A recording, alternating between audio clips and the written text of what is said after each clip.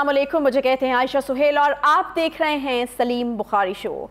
आज सबसे पहले यकीनन बात होगी खान साहब का एक पावर शो जो कि गुजरावाला में आज सजाया गया उनकी तरफ़ से और आ, कुछ बातें जो हैं वो कही गई वो जो वो करते हैं हर जलसे के अंदर कुछ वो भी कहीं। एक नई बात जो खान साहब ने कही वो ये कही कि सारी के सारी डिस्ट्रिक्ट की तंजीमों को मोबिलाइज करो। ये मैसेज जो है वो उनकी तरफ़ से भिजवा दिया गया है कि जब भी उनकी तरफ़ से कॉल दी जाए तो जो है वो तमाम तैयारी जो है वो मुकम्मल हो जाने की कोशिश करेंगे। बुखारी साहब की आखिर किस तरफ़ इशारा हो रहा है और किस किस्म की तैयारी करने का कहा जा रहा है किस किस्म के खदशात जो हैं। वो लाक हैं क्योंकि खान साहब बार बार इस चीज़ का इजहार कर रहे हैं और आज के जलसे में भी उन्होंने किया कि उनकी हुकूमत को साजिश के नतीजे में ख़त्म करने की कोशिश की जा रही है। क्योंकि इस बारे में तो हम कल भी बहुत तफसील से बात कर चुके हैं कि पंजाब में, खैबर पख्तूनख्वा में और आज गिलगित बल्तिस्तान के हवाले से भी हमें बात करनी है कि कहाँ कहाँ पर खान साहब जो हैं वो इस चीज़ की निशानदेही कर रहे हैं कि वहाँ पर हुकूमतों को ख़तरा है। फिर अपने नाहल कराने की बात साजिश की बात, माइनस वन की बात, ये भी खान साहब जो है वो कर रहे हैं।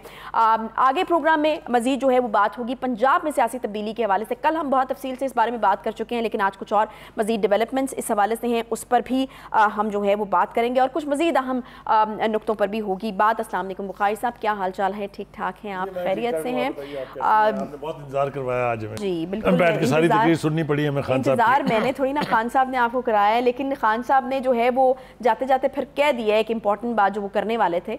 मेरा तो ख्याल है कि सारे जलसे में से एक ही बात मैं निकाल चुकी हूँ वो ये है कि जी सारी डिस्ट्रिक्ट की तंजीमों को मोबिलाइज करो ये मैसेज उनकी तरफ़ से दिया जा चुका है ताकि जब भी वो कॉल दें तो ये कौन सी कॉल है जिसकी तरफ़ इशारा किया जा रहा है और ये कितनी जल्द मुतव है देखिए खान साहब की जो हाइप क्रिएट हुई हुई थी हाँ। इस जलसे के हवाले से गुजरा वाले के वो ये थी कि वो अपना नया अमल जो है आइंदा वो बताएँगे हम्म। उसके हवाले से बहुत सी स्पेकुलेशन सोशल मीडिया पे भी चल रही थी नेशनल मीडिया पे भी उसकी बात हुई हम्म। हमने भी हल्का सा टच किया था उनको कि वो गालबन अब लॉन्ग मार्च की तरफ़ जाएँगे या वहाँ गालबन धरना देने का इरादा रखते हैं इस्लामाबाद में ये अल्टीमेटली प्लान उनका यही है जिसका इजहार उन्होंने आज पता नहीं क्यों नहीं किया क्योंकि वो फिर अगले जलसे के लिए जहाँ तक उनकी सारी गुफ्तु का तल्लक है वो अगर आप आँखें बंद करके किसी भी उनके जलसे की कैसेट निकाल लें तो आपको 99 परसेंट वही गुफ्तु है जो हर जगह करते आए हैं। चले आप साहब कुछ दो भी तीन जो नई बातें हैं लोग देखे ना आज वही गुफ्तु सुनने आज देखिए गुजारिश ये है। लोगों की आई हुई थी तो जलसों के एतबार से तक भी तो बताइए।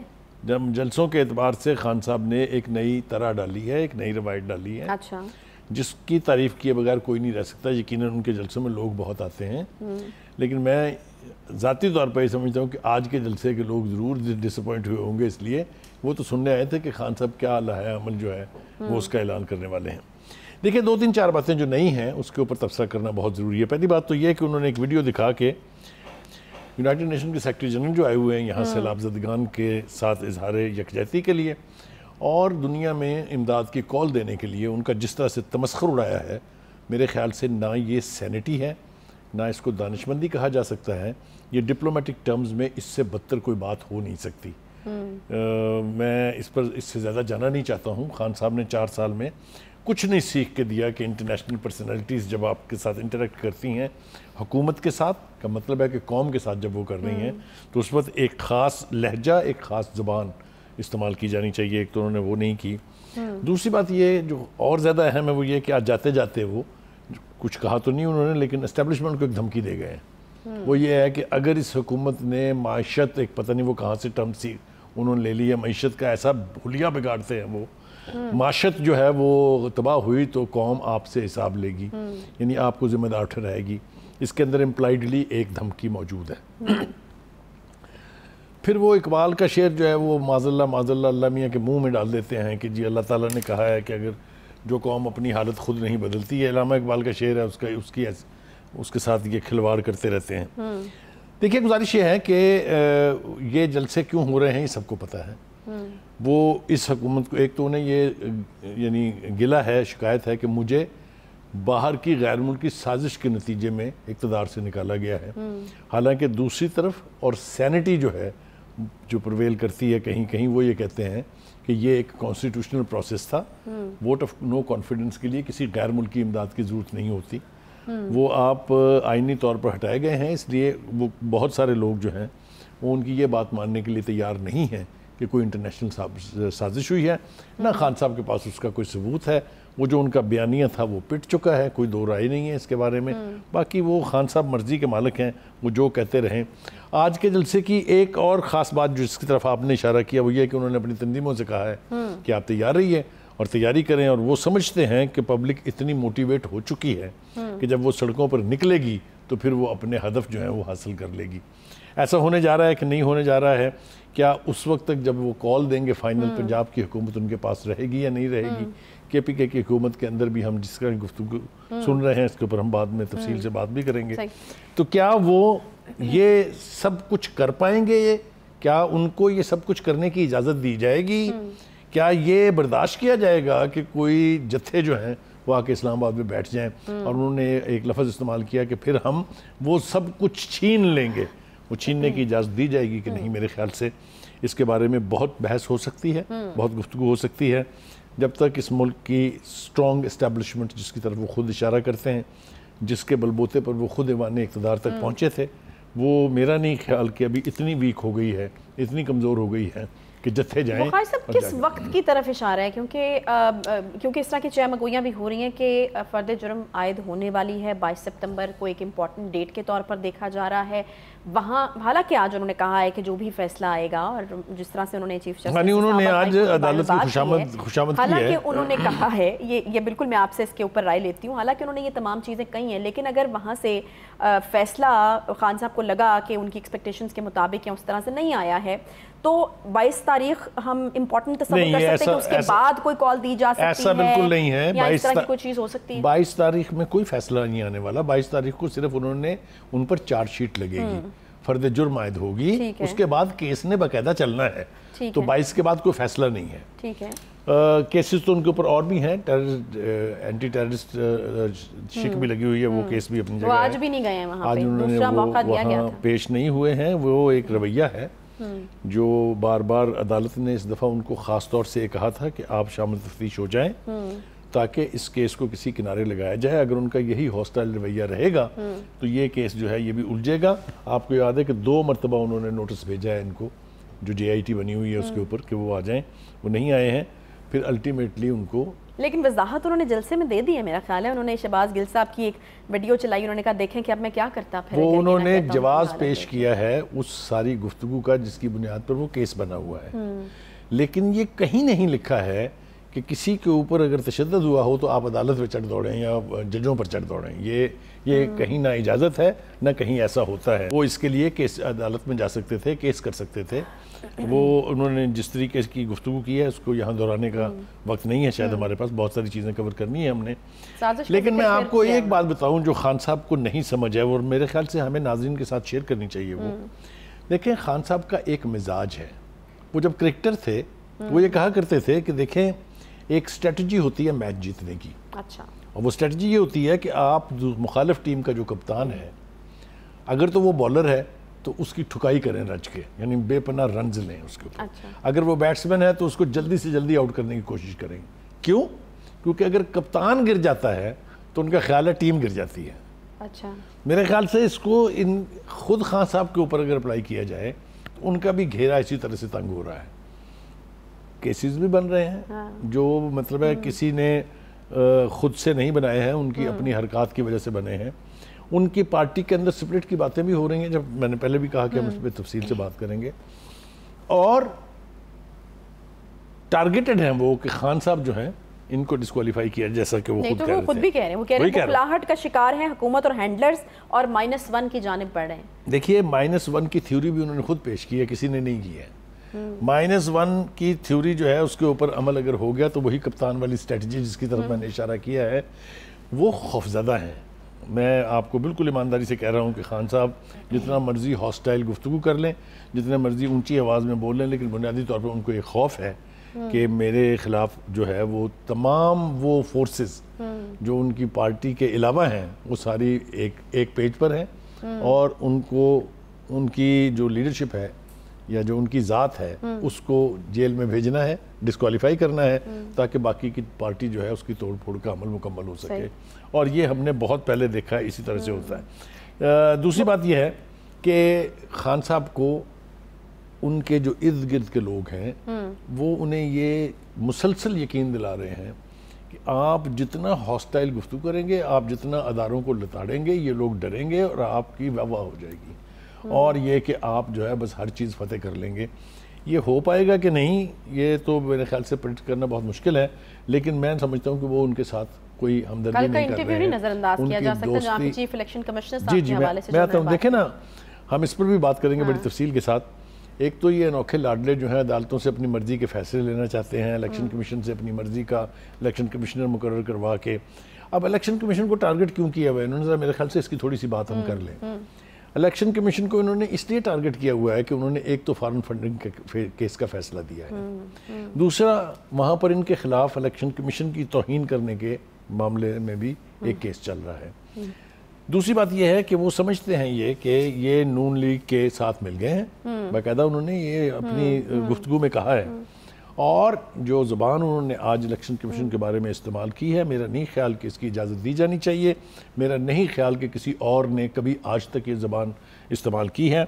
आज उन्होंने चीफ इलेक्शन कमीशन को घटिया करार दिया है कि वो एक घटिया इंसान है। ये उनका जो वैनम है ये इसके अपनी कोनोटेशंस इसकी अपनी आफ्टर मैथ्स इसका हम्म। अपना इम्पैक्ट ये सब चीज़ें भी खान साहब को बर्दाश्त करनी पड़ेंगी हम्म। ये नहीं हो सकता कि इलेक्शन जितवाने के लिए पीटीआई को उनकी मर्ज़ी का चीफ इलेक्शन कमिश्नर कमिश्नर मुकर कर दिया जाए हम्म। तो मेरे ख्याल से ये जितनी जल्दी उन्हें इदराक हो जाए कि ऐसा नहीं होने जा रहा इसलिए कि अगर तो इसी हुकूमत ने अगला इलेक्शन कमिश्नर भी बनाना है अगले साल क्योंकि इनकी भी रिटायरमेंट आ रही होगी तो फिर वहाँ तो राजा रियाज साहब बैठे हुए हैं और प्राइम मिनिस्टर साहब और लीडर ऑफ़ द अपोजिशन ने तय करना है तो फिर क्या होगा? अगर ये नहीं तो कोई और आ जाएगा तो वो भी उनकी खिदमत पर तो मामूर नहीं होगा ना? हम्म। ये बात खान साहब को समझ किस तरीके से चाह रहे हैं? या तो आप अंदर बैठे हो असम्बली में तो फिर ठीक है मुशावरत भी हो जाएगा बातचीत भी हो जाएगा। अगर आप बैठे भी नहीं हुए आप साथ बैठना भी नहीं चाहते आप बाहर बैठे किस तरह से होगा ये? ख्वाहिशात पर कोई पाबंदी नहीं है आपको पता नहीं ख्वाहिश करने पर तो पैसे नहीं लगते हैं। हाँ। ये हर वो बात कर रहे हैं जो इनको पार्लियामेंट के अंदर करनी चाहिए हाँ। थी पार्लियामेंट से आपने अपने लोगों को जिस तरह दौड़ाया है और जिस तरह आप पछता रहे हैं हम्म। इसके ऊपर भी आइंदा अगले हाँ। सेगमेंट में हम बात करेंगे हाँ, हाँ। तो मैं समझता हूँ कि खान साहब को अब होश के नाखुन लेने चाहिए हम्म। खान साहब के साथ सपोर्ट है पब्लिक की सपोर्ट है लोग उनके लिए हम्म। निकल रहे हैं उनको प्रॉपरली गाइड करें। उनको उस तरफ़ ना ले जाएँ जहाँ कौम का भी नुकसान हो उनका भी नुकसान अच्छा एक और बात वायलेंस जो है दैट नेवर रीप्स फ्रूट्स हाँ एक और बात भी उन्होंने की वो इतना ज़बरदस्त जब काम कर रहे थे बुखारी साहब तो फिर तो मुल्क दुश्मनी है ना उनको हटाना। वो कह रहे थे कि मैं रशिया के दौरे पे गया मेरी बात हो गई थी गंदम भी आ रही थी और जो है वो तेल भी सस्ते दामों आ रहा था ये नई हुकूमत ने आके सब बेड़ा कर कर दिया। कुछ भी जो है उन्होंने नहीं लिया रशिया से डर गए वो ना तेल लिया ना आटा लिया। फिर वो कहते हैं कि इतने ज़्यादा डॉलर आने थे मुल्क में हमारा सबसे बड़ा मसला ये है बीबी कि हम हर वो बात करते हैं जिसको हम ना जस्टिफाई कर सकते हैं ना प्रूव कर सकते हैं इसका बयान तो हमें याद है आपने भी दोहरा दिया आज हाँ। लेकिन आपको रशियन एम्बेसडर का बयान याद नहीं है जिसने कहा था कि जब ये वहाँ तशरीफ़ ले गए थे इस किस्म की कोई बात नहीं हुई थी वहाँ हम्म। ये आपको याद है उसके बाद फिर वहाँ के एक मिनिस्टर ने कहा था कि अगर हमें अप्रोच किया जाए हाँ। तो हम बात कर सकते हैं लेकिन अब तक इस सिलसिले में कोई बात, कोई नहीं, बात नहीं हुई। तो ये हवा से पकड़ के जो खान साहब तेल ला रहे थे वहाँ से हाँ। हमारी कोई रिफाइनरी ट्यूम्ड नहीं है उस ऑयल हाँ। को रिफाइन करने के लिए। उसके लिए एक्स्ट्रा जो है वो कीमत हमें चुकानी पड़ेगी अगर हम ओमान वगैरह से कहीं से कराएँ। तो वो कॉस्ट कहाँ पड़ जाएगी जाके उसका कोई अंदाज़ा नहीं है उन्हें। hmm. बस चूँकि उन्होंने एक चीज़ उनके दिमाग में आ गई है and he has started believing now he wants that the whole nation should believe it ये नहीं होता नहीं होगा। सही। बुखारी साहब, एक छोटा सा यहाँ पर मुझे ब्रेक लें। जब वापस आएँगे तो कुछ और चीज़ों पर भी गुफ्तु करनी है। पंजाब में तब्दीली जो है उसके काफ़ी ब्राइट चांसेस जो हैं, वो नज़र आ रहे हैं, क्योंकि काफ लीग के निसफ एम जो हैं पंजाब असम्बली में वो चौधरी शुजात साहब से रबता कर चुके हैं। नंबर गेम क्या होगी और क्या ख़तरा जो हैं, वो आगे लाक होते चले जा रहे हैं पी टी आई को, जिन सूबों में उनकी हुकूमत है, वहाँ पर उस पर भी बात होगी। एक ब्रेक के बाद साथ रहिए।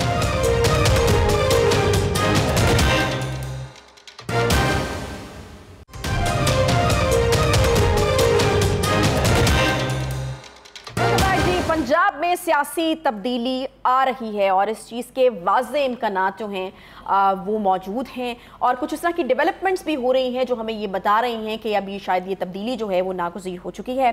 काफली के नसफ M P S Punjab assembly में चौधरी शुजात साहब से रबता जो है वो कर चुके हैं। काफ़ी तफसील से बुखारी साहब ने जो है वो कल के प्रोग्राम में इस पर बात की थी। और अंदर की कुछ मुलाकातें किस तरीके से कौन कौन अप्रोच कर रहा है पी टी आई के अपने अंदर किस किस्म के अख्तलाफा हैं या परवेज़ लाही साहब से किस किस्म कि इख्तलाफात पी टी आई के एम पी एस के हैं उनका भी ज़िक्र जो है वो बुखारी साहब ने किया था बुखारी साहब ये आज एक नई डेवलपमेंट यहाँ पर कहेंगे कि कल आपकी स्टोरी जो है उसकी एक एक और ताइद जो है वो हमारे सामने आ गई है कि चौधरी शुजात साहब से रबता हो चुका है और कहा जा रहा है कि ये ये तादाद निस से भी जायद हो सकती है जी मेरे ख्याल से हमने जो कुछ कल कहा था उसमें बहुत ज़्यादा डेवलपमेंट्स हुई हैं कोई हम्म। दो राय नहीं इसके बारे में एक तो आपने खुद ही कह दिया कि जो सात लोग हैं हम्म। काफ लीग के वो जाके चौधरी शहजाद साहब से मिले हैं और उनको अपनी हमायत का यकीन दिलाया है। जो बाकी तीन हैं वो भी मखमसे का शिकार हैं इसलिए हम्म। कि अगर चौधरी साहब ख़त लिख देते हैं इलेक्शन कमीशन को जैसा कि उन्होंने पहले लिखा था। उन्होंने जिस खत को लिखा था उसके हम्म। नतीजे में वो मजल से अमल वगैरह हवा में उड़ गई ना। उड़ गई। कहीं नहीं है वो। वरना उन्होंने तो सदारत से हटा दिया था उनको। हम्म, हम्म। तो वो ती, तीन भी सुना है मैंने कहा बड़ी जो जहनी कैफियत का शिकार है। क्योंकि वो डिस्कालीफाई हो जाएँगे ना अगर, अगर वो नहीं आएँगे तो डिस्कालीफाई हो जाएँगे। अब देखना ये है कि चौधरी परवेज लाई साहब ने जो फैसला किया था इमरान खान का साथ देने का उसमें उन्हें मिला क्या? उन्हें तो वजारत आला मिल गई लेकिन बाकी काफ लीग के किसी बंदे को कुछ मिला? क्योंकि अगर परवेज लाई साहब नहीं जाते इमरान खान साहब के साथ तो हुकूमत उनकी नहीं बनती थी तो रोज़े रोशन की तरह वाजे था ना। हम्म। एक तो ये कि उनके हाथ कुछ नहीं आया। अब ये इम्कान है कि अगर ये लोग जो हैं चौधरी शुजात साहब के साथ जा मिलते हैं और कोई तब्दीली आती है जिसकी तरफ़ मैं आगे मजीद हम्म, तफसील भी हम्म, बताऊँगा तो फिर इनको कुछ ना कुछ मिलेगा। ये लोग वज़ीर तो बहरल बनी जाएँगे। जो नई बात है वो ये है कि जिसकी तादाद हमने कल 18 के करीब कही थी आज की जो मेरी इतलात है वो ये है कि कोई तैतीस के करीब जो पीटीआई के एम एन एज हैं बड़ी तेज़ी से बढ़ी है। जी हाँ वो जस्ट ऐलान करने के करीब है। दो ऐलान मुतव हम्म। हैं इसी हफ़्ते में। अच्छा। एक काफ लीग के ये सात अरकान जो हैं ये अपनी हमायत का ऐलान करेंगे। हम्म। और दूसरा जो एक बड़ा ग्रुप बन रहा है जो बिट्रे करेगा पीटीआई की लीडरशिप को इस वक्त जो है उसका भी ऐलान प्रेस कॉन्फ्रेंस में होने वाला है। अगर ये हो जाता है तो पंजाब की हुकूमत के बारे में फिर मेरा ख्याल है मजीद सोचने की भी कोई ज़रूरत नहीं है। परवेज साहब की तरफ़ से कुछ मजीद कोशिशें जारी? मैं देखें उन, उन्होंने उनके लिए जो सबसे बड़ा चैलेंज है वो ये हम्म। कि वो ये कि अगर इस तरह से तब्दीली आती है तो वो कहाँ खड़े होंगे हम्म। वो कहते हैं ना कि नशे की आदत कहीं आदत ही ना बन जाए वो इसी तरह से परवेज लाई साहब की जो मोहब्बत है पीटीआई के लिए हम्म। कहीं वो गले का तोक ना बन जाए हाँ। ये बहुत अहम मरहला है उनके लिए कि वो सोच विचार करें कि बिल आखिर उनके साथ होगा क्या लगता ये है कि वो आइसोलेशन का शिकार होने जा रहे हैं ज़ाहिर है बेटा तो उनके साथ रहेगा ही लेकिन उनके पास ऑप्शन क्या हैं उनके पास ऑप्शन थे पहले थे अब नहीं अब भी हो सकते हैं कि वो भाई अच्छा, के पास जाएँ। अच्छा, उनसे कहें कि नहीं जनाब आप ही पार्टी के सरबराह हैं हाँ। और here I am to surrender आप मुझे बताइए मेरे लिए क्या हुक्म है? हम्म। ये वो करेंगे या नहीं मुझे इसके बारे में कोई लेकिन ऑप्शन यही नहीं है लेकिन ऑप्शन सिर्फ़ एक है। अच्छा। अदरवाइज़ तब्दीली की सूरत में ये फिर पीटीआई के लोगों में से किसी के वज़ीर अला बनने का इम्कान है। मेरा नहीं ख्याल कि नून लीग इस दफ़ा ये गलती करेगी दोबारा कि वो हमजा शबाज को बना दे। अच्छा। ना ही उन्हें ये गलती करनी चाहिए। मेरे ख्याल से ये सारी गेम प्लान जो है इसमें सबसे ज़्यादा नुकसान जो है वो काफ लीग को होगा। पंजाब में इस वक्त दे, देखें जब हमजा शबाज की हुकूमत थी तो इल्ज़ाम यह था कि जिसने क्या काम किया है? हम्म। इतने हालाँकि वो हार्डली दो महीने साठ दिन तक रही थी। तो ये बताएँ कि ये जो अब दो महीने से नई हुकूमत बनी हुई है इसने क्या किया है? सैलाब जिसने तबाही फैला दी है पूरे मुल्क के अंदर और पंजाब भी कोई महफूज नहीं है। हम्म। आप ज़रा जाके बहावलपुर और बहावल नगर के इलाके देखें आपको पता चल जाएगा। हम्म। वहाँ क्या किया आपने? आप तो जलसा जलसा खेल रहे हैं। आप मुझे बताइए कि जलसा जलसा खेलने के अलावा और हम्म। क्या? किया दो जगह दो मुख्तलिफ़ लोग गए। बुजदार साहब गए थे किसी जगह रुझान अपने डेरा गाजी खान में। वहाँ से वापस आना पड़ा उन्हें और इमरान खान सब गए थे सिंध में वहाँ से वापस जाना पड़ा उन्हें। तो ये लोग जो है ना वो इतनी आसानी से इस किस्म की क्लेमिटीज़ में अगर कोई इनडिफरेंट एटीट्यूड का मुजाहरा करे हम्म। तो उसको जल्दी माफ़ नहीं करते हैं। ये लोग जहाँ जहाँ भी ये जाएँगे लोग इनसे पूछेंगे कि जब हम डूब रहे थे जब हमारे घर उजड़ रहे थे जब हमारी सड़कें टूट फूट का शिकार थी आप उस वक्त खेल रहे थे जलसा जलसा अब क्या लेने आए हैं? इसका बहुत बड़ा इम्पैक्ट आने वाले दिनों में होने वाले इलेक्शन पर पड़ेगा। बिल्कुल हो, होगा तो सही। अच्छा बुखारी साहब मुझे बताएगा कि चौधरी परवेज लाई साहब खड़े कहाँ पर हैं? उनका जो कन्फ्यूज़न है क्या दूरियों का बायस बनेगा खान साहब से?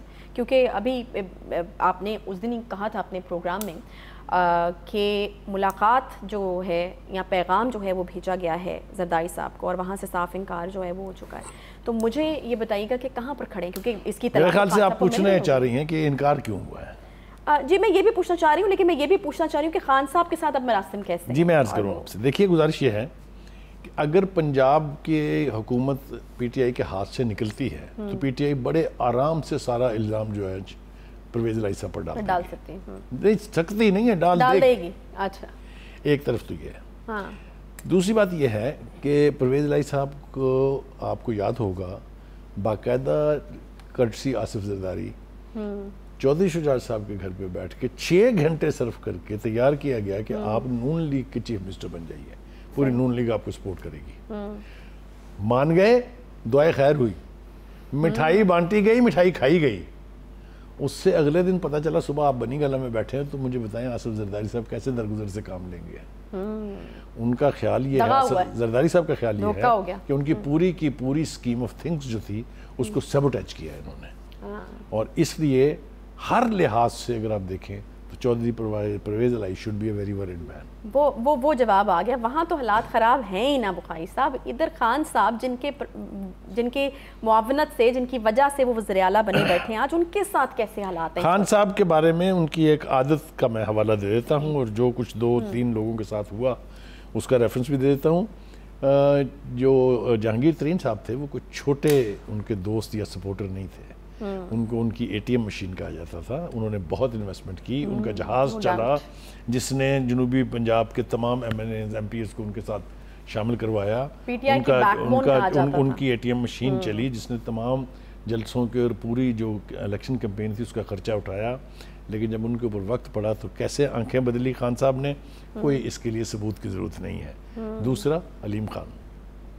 अलीम खान साहब भी उनकी एटीएम मशीन के तौर पे जाने जाते थे उन्होंने हम्म। बेपना इन्वेस्टमेंट की उनके साथ वादा था कि शायद उनको चीफ मिनिस्टरशिप मिलेगी वो कैंडिडेट हम्म। थे बहुत सीरियस कैंडिडेट हम्म। थे लेकिन फिर जिस तरह बुजदार साहब को नाफिज किया गया मुसलत किया गया उनके ऊपर वो आपके सामने है तो ये जो आँखें बदलने का रवैया है खान साहब का ये उनके दोस्तों से पूछें तो आप उनके बारे में मैं कहते हैं कि साजिश हो रही है तो ये साजिश फिर अब वो इल्ज़ाम सीधा चौधरी परवेज लाई साहब पर ये मेरे ख्याल से अगर मैं ये कहूँ कि खुद आप अपने दाम में से याद आ गया जो आपने लोगों के साथ किया था वही हम्म। शायद आपके साथ होने वाला है।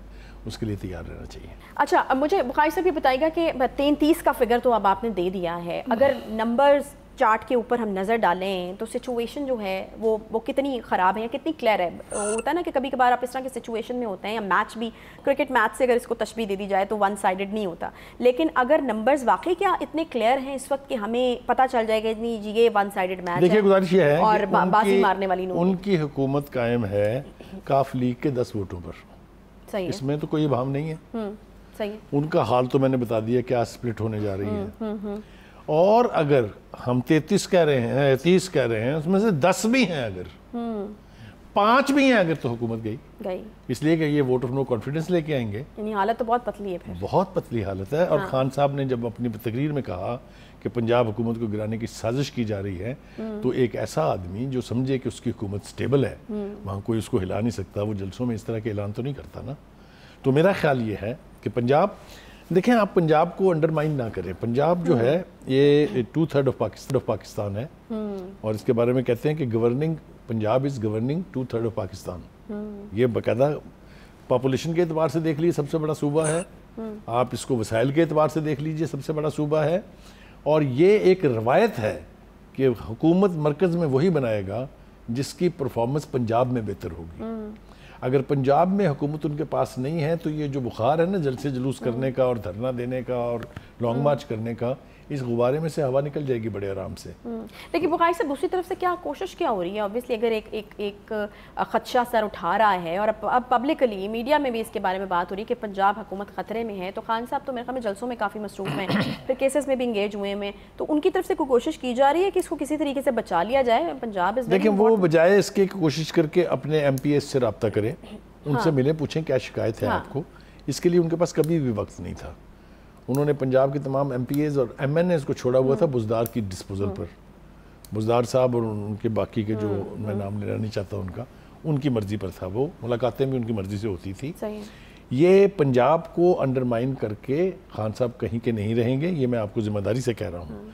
चूँकि उनके पास वक्त नहीं है चूँकि वो समझते हैं कि ये M P As M N As जो हैं ये सब उनके नाम के मोहताज हैं इसलिए उनकी तवज्जो इस तरफ़ नहीं है। मुझे यूँ लगता है कि ऐसा ना हो कि जब घड़ी वो घड़ी आ जाए उस वक्त आँखें खोलें खान साहब की कि ये क्या हो गया है।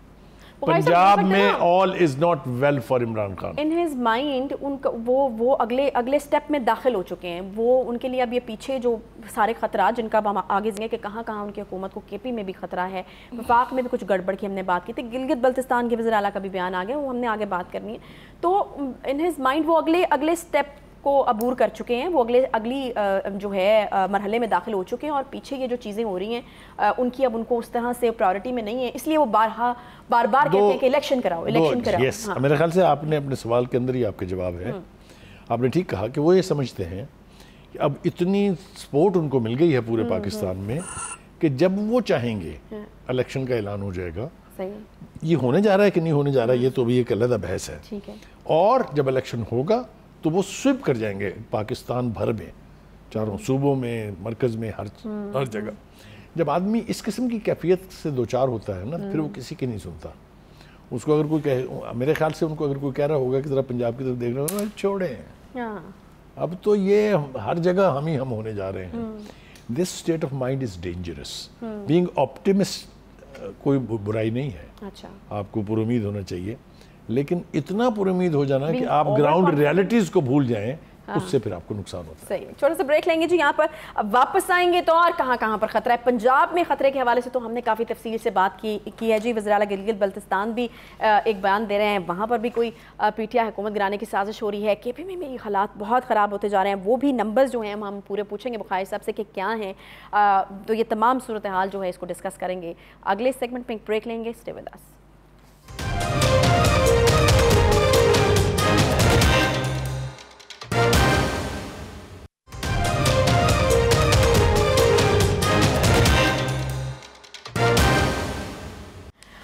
वेलकम बैक जी। खैबर पख्तूनख्वा में भी खतरात मंडलाना शुरू हो गए हैं, क्योंकि मुताद P T I M P S जो हैं, वो पार्टी छोड़ने की तैयारी जो है, यहाँ पर कर चुके हैं। लेकिन बुखारी साहब, शौकत यूसुफ साहब के पास इसका भी एक जो है वो जवाब मौजूद है। वो कहते हैं कि जिनको पार्टी टिकट नहीं दे रही है ना, जो पार्टी के लिए अब ज़रूरी नहीं ऑब्वियसली टिकट नहीं दे रहे तो ज़रूरी नहीं। तो वो लोग जा रहे हैं जी, और वो अपने लिए नए रास्ते तलाश कर रहे हैं तो इसमें ऐसी कोई बात नहीं है। दे दे आर फाइन देखिए वो सेक्रेटरी इतलात है मतलब है वो इतलात के मशीन है या हाँ। शायद वज़ीर हैं उनको इसी तरह की बात ही करनी चाहिए लेकिन उनके इन बयान में कितनी ख़तरनाक बात छुपी हुई है हम्म।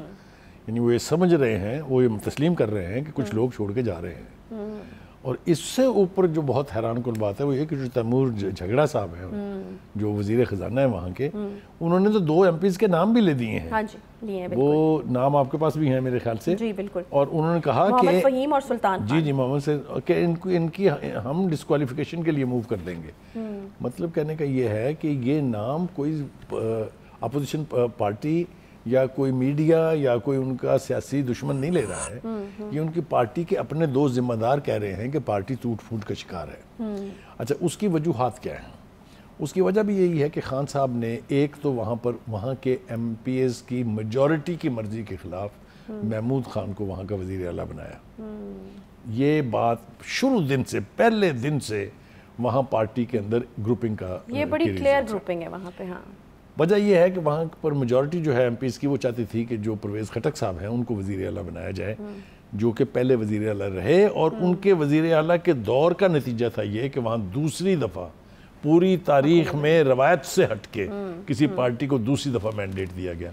उनको आपने अपने पास बिठा लिया है। तो एक तो ये बहुत बड़ी वजह है।